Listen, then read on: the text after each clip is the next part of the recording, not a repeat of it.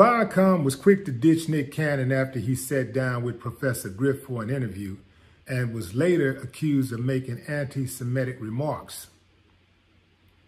Viacom cut ways with Nick Cannon and all hell broke loose. After that, Nick apologized, sat down with a rabbi and some other things.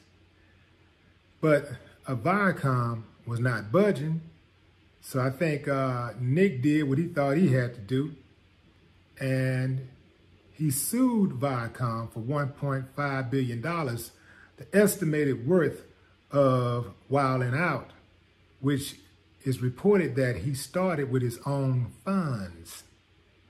Chris McCarthy, the president of entertainment and youth brands at Viacom CBS, said that it's a shame that they're not with uh, Nick Cannon on this journey that he's on uh, because he's a friend of theirs and you know he'd hope that they can work together again soon.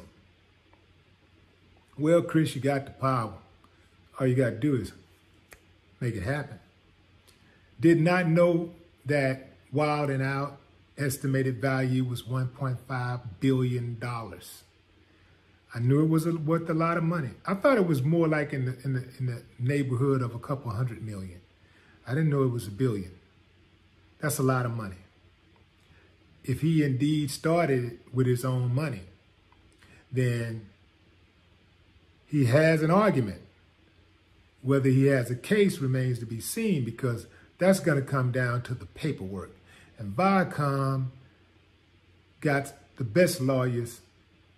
They got some of the best lawyers in the world. Not to say that they can't be beat, but they got some of the best lawyers in the world, and that paperwork is strong. It's thick and strong. So it's going to be interesting to see how that turns out. I imagine that they would not want to go all the way through with a lawsuit with Nick Cannon because this is a racial thing. And I don't think that they want to have all of the dirty laundry to come out. I don't think Viacom want to be known as an enemy to the black community. They don't want to put somebody as beloved as Nick Cannon on trial. You know, they don't want to be on trial with somebody like that.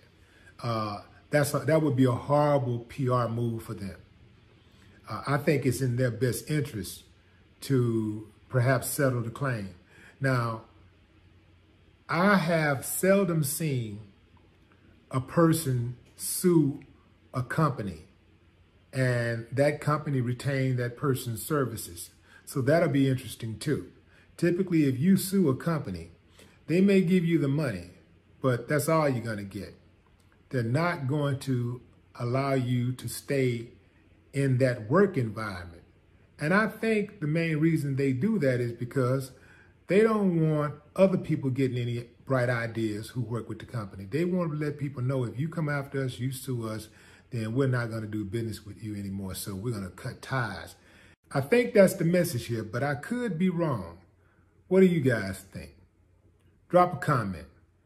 Do you believe that Nick Cannon and Viacom can resume doing business together? Especially in light of that lawsuit. 1.5 billion? Damn, it's a lot of money. I need to holler at Nick. No more talk.